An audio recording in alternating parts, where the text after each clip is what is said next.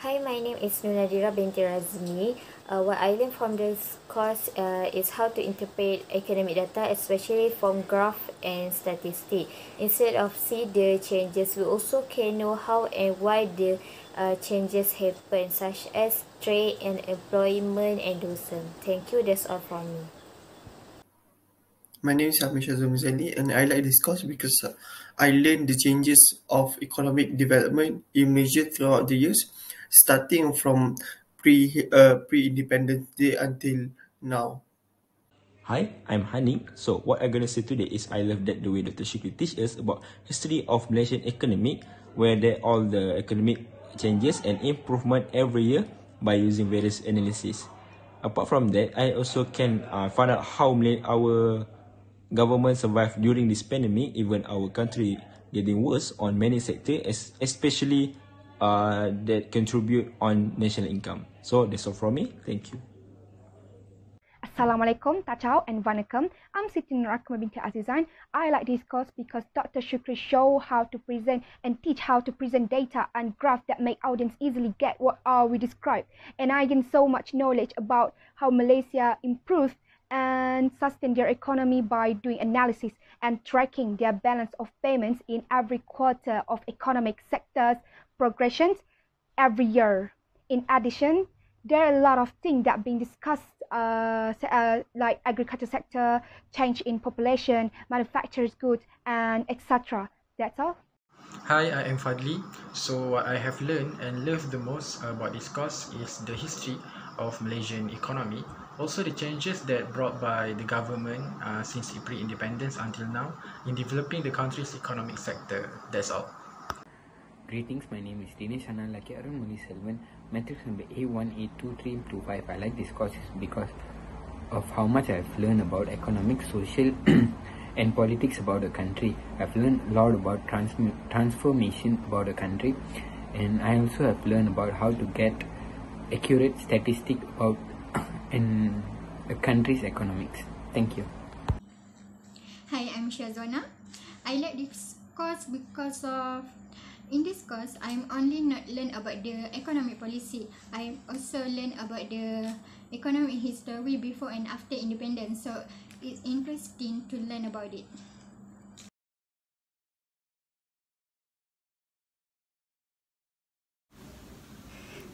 I'm Nur and Sabrina binti Ahmad Rizan. I like this course because I get to know about DOSM, which is the Department of Statistics Malaysia, and I learn how to use the data in DOSM. COVID-19 is a pandemic known as novel coronavirus 2019. Uh, it is caused by severe acute respiratory syndrome coronavirus 2 or SARS-CoV-2. So the virus outbreak was first identified in Wuhan, Hubei, China in December 2019. Meanwhile, in Malaysia, the first case of COVID-19 was detected on 25th January 2020 among tourists uh, from China. So this is the chronology of COVID-19 in Malaysia. On 24th January 2020, the Ministry of Health informed that 8 close contacts to the first COVID-19 case in Singapore were in Johor Bahru and they have been quarantined. On the next day, 25th January 2020, the Minister of Health at that time, which is Datuk Seri Dr. Zulkifli Ahmad, confirmed the first COVID-19 case in Malaysia involving 3 of 8 Chinese nationals who entered Malaysia via Johor Bahru from Singapore on 23rd January 2020. They were treated at Sungai Buloh Hospital, Selangor. Next, the Ministry of Health quickly devised standard guidelines for the management of COVID-19 and 34 hospitals and screening centres were specifically designated in each state of Malaysia. Also, the Ministry of Health advised to the Malaysian to not travel to China if there is no need. At first, on January 25, 2020, Malaysia showed no intention in banning travellers from China, but as the cases increased from 99 on March 8 to 200, with the first two deaths, government started to take action. One of the strategies is to put thermal scanners for locals or tourists returning from abroad. Malaysians who returned from Wuhan also were quarantined. They increased the number of hospitals that will be used to treat COVID-19 patients. Uh, government also implemented MCO on 18 March 2020. Ministry of Health also set up funds for patients who are affected due to quarantine and expenses used to treat them. Last but not least, government set up provisional hospital in, in MAEPS for COVID-19 patients. These are the actions taken by others to encourage people to stay at home and help those who are in need. This situation also gives opportunity to Malaysian researchers. For the numbers and details of COVID-19, I will I will give out two statistics. The first one is the cumulative cases of positive cases. Number two, the monthly positive cases of COVID-19. For the first statistics, let's look in the year to 2020 and the cumulative case in the first month of January 2020, we have 8. For February, we have 29. For March, we have 2,766. For April of 2020, we have 6,002. For May, 7,819. For June, 8,639 for July 8976 for August 9340 for September 11224 for October of 2020 31548 for no- November of 2020 65697 for the month of December of the year of 2020, 113,010. We start off the year 2021 with the cumulative case of COVID-19 with 214,959. For February, we have 300,752. For March, we have 345,500. For April, 408,713. For the month of May, we have 572,357. For June, 751,979. For July, 1,113,272. For August, 1,746,254. For September, as of Sep- uh, 25th September, 2,185,131. The first month of 2020, we have 8 cases only. For February, we have 21. For March, we have 2,737. For April, we have 3,236, with May with a slight decline, with a total of 1,817. June, 820. July, another decline, which is 337. August, we have a slight increase, which is 364. On September, we have 1,884 positive cases. For October, we have 20,234, which is a very big increase from the month of September. In the month of November, we have 34,149 positive cases. And last but not least, for the month of December, we have 47,313 positive cases. For the month of January 2021, the total cases is 101,949. For the month of February, we experienced a slight decrease that brings the total case is to 85,793. For the month of March, the number of cases decreased almost by half. Uh, that brings the total number of cases to 44,478. For the month of April, the number of cases is 63,213. For the month of May, the number of cases in, increased exponentially. For the, that brings the total number of cases to 163,644. For the month of June, the number of cases is 179,622. And for the month of July, 361,293. For the month of August, the case almost doubled. that brings the total case to 632,982. And for September, we experienced a slight decline in total number of cases. That uh, as of 25th September, that brings the total case to 438,877 only. The measures taken by the government on the first PKP is firstly, all the business premises must be closed except for those who provide basic necessities. And second, all the religious activity are not allowed to be held. Third, Malaysians are not uh, allowed to live in the country or restriction and restriction to all the travels to came into the Malaysia and and fourth, uh, all the Malaysia that uh, come back from the overseas must be quarantined and self check up before they meet other people. All school and university educational institution will be closed and public and government premise also will be closed.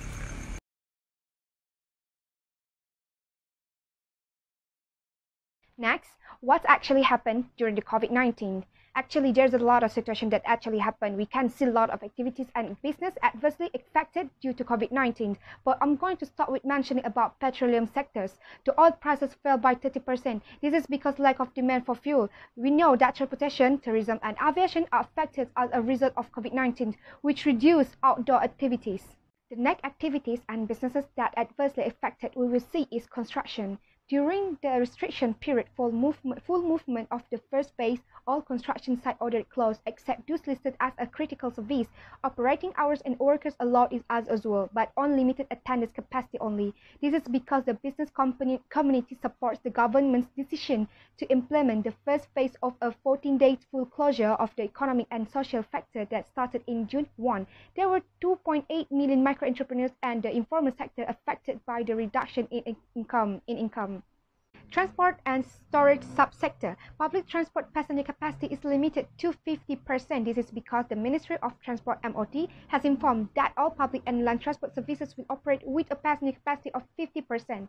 The reduction in passenger capacity will have an impact on safe, special public service activities, especially for activities intercity rail passenger transport and urban and suburban rail passengers. So we are moving to the next sector that is tourism. Movement Control Order PKP 3.0 implemented following a sharp increase in COVID-19 cases that caused the hotel not get enough customer that caused a decline in income and be a contributing factor of layoff and hotel closures.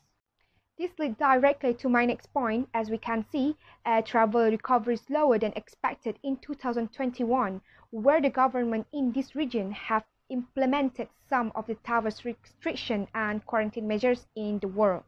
Preliminary traffic figure for March 2021 by AAPA show that international passenger markets remain weak with unabating uh, border restrictions, particularly in Asia Pacific. This has been exacerbated by the uneven progress in vaccination rollouts and rapid resurgence in COVID-19 transmissions in some countries, particularly India. Now, the last types activities that adversely affected that I am going to mention is nurseries and kindergarten that is from service education sector. This is because they not allowed to operate during the implementation of full movement restrictions, except operations for children of frontline workers and parents who are both working only. Hi, I'm Hani. So what I'm gonna say today is I love that the way Dr. Shukri teach us about history of Malaysian economy, where there all the economic changes and improvement every year by using various analysis. Apart from that, I also can uh, find out how many our government survived during this pandemic, even our country getting worse on many sectors, especially uh, that contribute on national income. So that's all from me. Thank you. COVID-19 had forced a lot of factory and business to cease all their uh, operation because of preventing spread of COVID-19 but uh, this actually make people has lost uh, their jobs. And at the same time uh, make people doesn't have any income for survive. From this uh, we can see unemployment in malaysia has been decreased has been increased uh, 4.8% on this december 2020 and it's very dangerous uh, for malaysian economic development. COVID-19 also made all education system in Malaysia had a worse impact, especially for poor people. Why I'm saying this is start from the pandemic, our classes session has been changed from physical to online learning. So, uh, they need to have a device to join the classes. But if for those uh, have no enough budget, uh, it's making difficult for them to get uh, any budget or device. Other than that, government uh, need to spend money on new learning system. During this pandemic, we also knew about food supply and production are difficult to being sustained because lack of employees. So, uh, their production being slow on processing and anything involved to fulfill customer demand, uh, especially any necessary food that has been needed. From the demand side, as you can see, any expensive food has uh, a low demand because of consumer do not have enough money to fulfill all their needed. So, they are only focused on cheaper food for necessities in addition the loss of income source are causing difficulties difficulties on various aspects. So thank you. Malaysian economic stimulus package. Till date, Malaysian government have announced eight economic stimulus package to recover and overcome from the pandemic. First of all is Prihatin Economic Stimulus Package, Prihatin PKS Plus, National Economic Recovery Plan, Kita Prihatin Economic Stimulus Package, Pelindungan Ekonomi dan Malaysian Assistance Package PERMAI, Strategic Program to Empower the People and Economy PERMEKASA, Additional Strategic Program to Empower the People and Economic PERMEKASA Plus, National People's Wellbeing and Economic Recovery Package PERMULE. All of these eight thing, eight, eight economic recovery plan has three things in common, which is empowering the citizens, which are individual and households. Second is propelling businesses, small businesses, middle businesses, stimulating economic. All of these eight economic recovery plans have these three things in common. To explain all and every eight economic stimulus package, it will take time, so I will explain only one of it which caught my attention the most, which is Permerkasa Plus. This economic stimulus package focuses more to businesses and household and individuals. For businesses, there's extension of the wage subsidy program, enhancement of micro loans, electricity discount, loan moratorium, and uh, enc- encouragement of business to go online and many more this is all so that businesses doesn't go out of business and uh, to continue their transaction so that the ec- Malaysian economy get to grow. Next will be for individual and household. This is done by cash aid, relief of loan repayment, increasing support for healthcare, assistance for Malaysian below poverty line, and income loss assistance. All of this will ensure that household and individual during this pandemic get to survive and and to contribute to economy after this. Since much of the world went into lockdown, it is foreseen many activities to temporarily shut down, but some of the activities getting benefit, such as e-commerce. E-commerce is buying and selling of goods and service over the internet. Due to quarantine, people cannot go outside and must stay at home. Because of that, they need to sell and buy items online. Even when the quarantine ends and cases getting low, people will still be cautious and many will still prefer to shopping online from the safety safety of their homes. Besides that, everyone become fonder with mobile device since it was the only way to interact. So marketing and business procedure getting more easier to adapt with e-commerce. According to new reports, within a month after the MCO movement control order came into force in 2020, online business activity has increased by 28.9%. That's all for me. Thank you. During the COVID-19 pandemic, technology are playing important part to keeping our society function in a time lockdown and quarantine. And technology change can help to reduce the spreading of coronavirus. Technology change in online shopping and robot delivery. Because of lockdown, we cannot go up from home. So, uh, online shopping marketplace platforms such as Shopee and Lazada can help us to buy something without we need to go out from home. Second is um, digital and payment, contactless payment. Cash might be carrying the virus, so this method can help us to pay something without touching something. That is remote work. Many of company have asked their employee to work from home. Remote work is enabled by the technology, including the virtual meeting and work collaboration tools. Fourth is um, distance learning. Many of educational institutions starting to offer online course. Telehealth is an effective way providing essential primary care. Other technology change in online online entertainment, supply chain 4.0, uh, robotic and drone, 3D printing, and the last is 5G and ICT. 5G and ICT is a stable, affordable, and high-speed internet for people. National Recovery Plan is a government initiative to develop economy. First, they have the Malaysian Digital Economy (MDEC), focus on digital transformation and Malaysia 5. Their initiative is to boost digital uh, digital business sector and as well as developing quality talent in Malaysia. Second, the National Digi Digital Network Jendela. This initiative is about investment to strengthen connectivity and 10-year plan for the implementation 5G nationwide. Third is Malaysian Development Overhead MDVB. It's about to assist technology company to increase business activity. And last, we have um, Pelan Pemulihan Jangka Pendek Penjana. Government give 50 ringgit Malaysia in e-wallet as an effort to encourage people to use contactless payment.